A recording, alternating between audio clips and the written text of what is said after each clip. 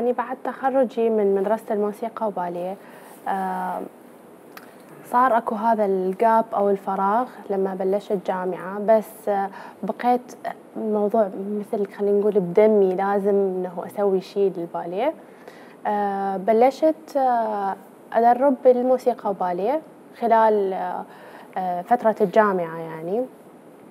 بعدها فكرت إنه أنا يعني إحنا ما يصير نبقى بس على الموسيقى وباليه هذا الشيء ما راح يخلي فن الباليه ينتشر ما راح يستقطب قصدك ما يصير نبقى بس على المدرسة. إي بالضبط. فيعني راح يكون حصرا للمدرسة. أنت بهالحالة ما راح تخليه ينتشر ولا راح أكو ناس يعرفون به فطلعت بفكرة إنه أسوي أكاديمية. أقدم بيها دورات لطلاب اللي هم خارج موسيقى وباليه من غير مدارس من مدارس مختلفة. آه فبديت إنه أنطي آه دورات باليه من ضمن الجدول بالمدارس الخاصة. مم. بعدها يعني خلينا نقول إنه انفصلت سويت أكاديميتي الخاصة حتى تكون دوراتي هي آه للطالبات من مختلف يجوني بأوقات يعني بعد الدوام أي بأوقات الويكندز جمعة وسبت هذه حتى يكونون مستمرين وياي. أي. هسه إحنا نريد شوية نرجع قبل. مم. أنت من الطالبات أو من المجموعة اللي يعني صراحة كان عندكم تحدي كبير.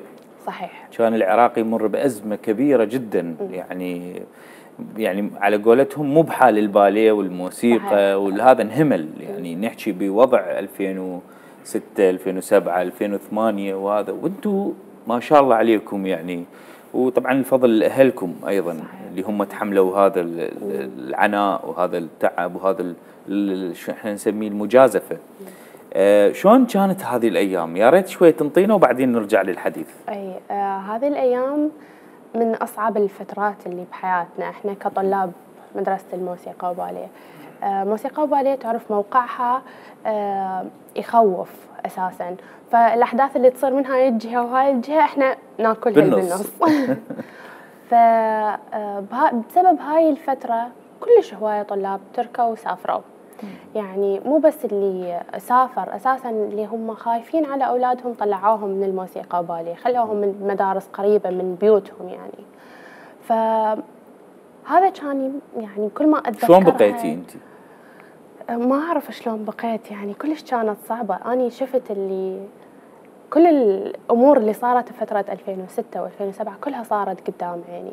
أنا أقول لك فترة ممكن ما داوم شهر شهرين نقعد ها خلينا بقينا بهذا اللي هو التردد اللي آه ننقلها نبقيها. صح. زين خليها تقعد هاي السنة ما راح أخليها تروح للدوام تروح بس للامتحانات.